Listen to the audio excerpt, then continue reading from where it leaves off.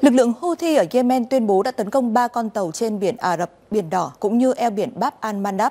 Người phát ngôn quân sự của Houthi cho biết lực lượng này đã thực hiện ba hoạt động quân sự trong nỗ lực nhằm tiếp tục áp đặt lệnh phong tỏa trên biển đối với Israel. Cuộc tấn công đầu tiên đã được tiến hành nhắm vào tàu SC Montreal ở phía nam biển Ả Rập bằng hai thiết bị bay không người lái.